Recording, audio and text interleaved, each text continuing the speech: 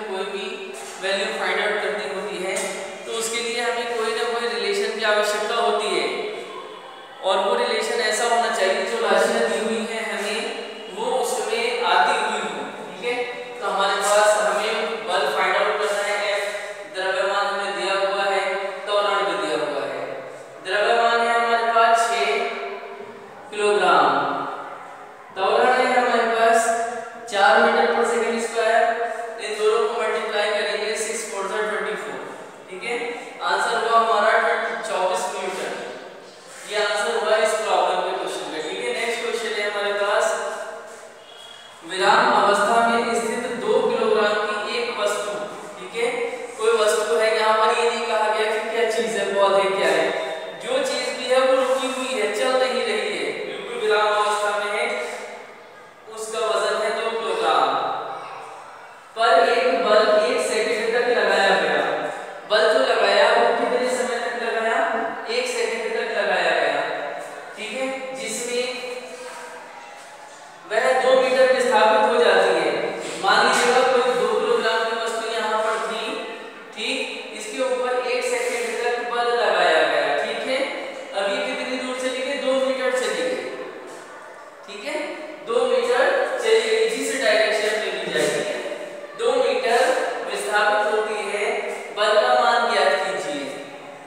क्या पूछा है कि बल कितना प्रेशर का लगाया गया? था ठीक है? कितने न्यूटन का बल लगाया गया? ये बताना है इसमें। तो देखिए इन्होंने क्या दिया हुआ है? द्रव्यमान दो किलोग्राम समय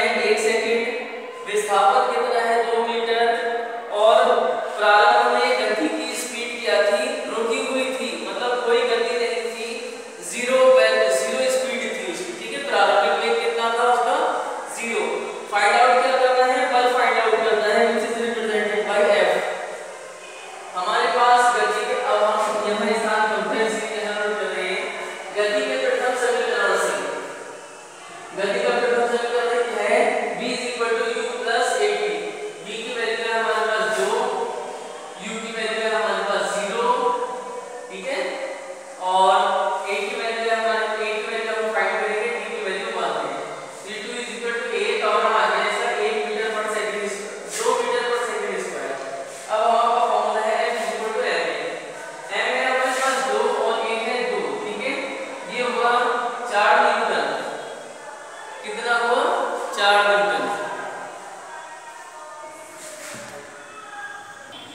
डियर स्टूडेंट्स अगला क्वेश्चन है एक ट्रक विराम अवस्था से। विराम अवस्था मतलब प्रारंभिक वेग है उसका zero.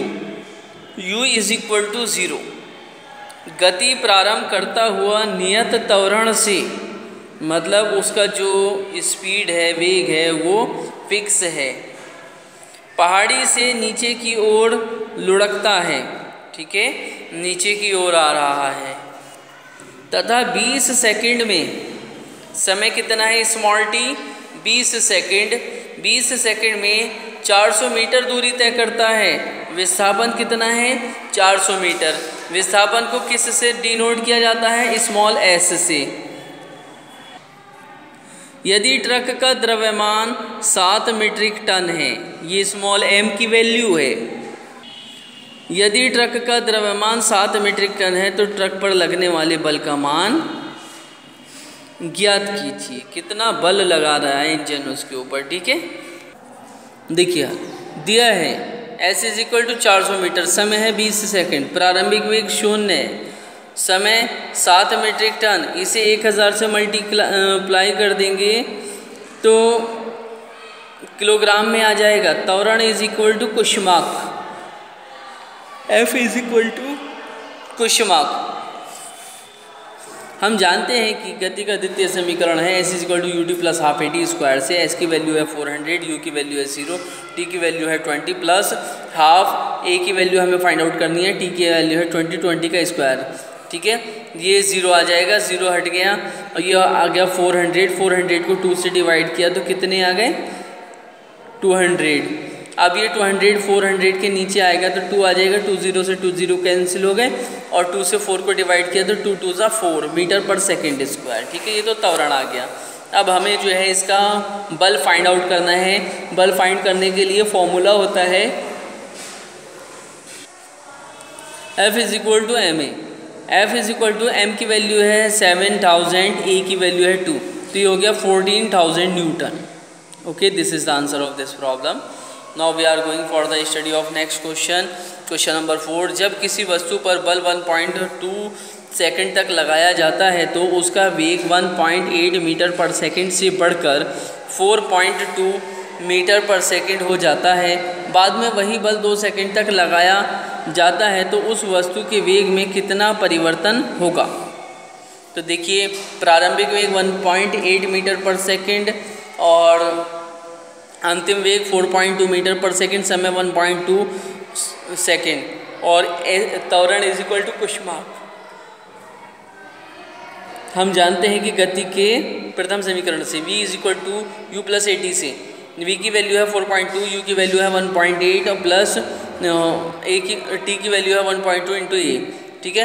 वन पॉइंट टू ए हो जाएगा, ये इधर जा करके माइनस हो जाएगा। इसमें से सब्ट्रैक्ट करने के बाद क्या रहा? 2.4 आया। 2.4 को ये डिवाइड में चला जाएगा। पॉइंट से पॉइंट कैंसिल हो गया। ट्वेल्व टू था twenty four metre per second square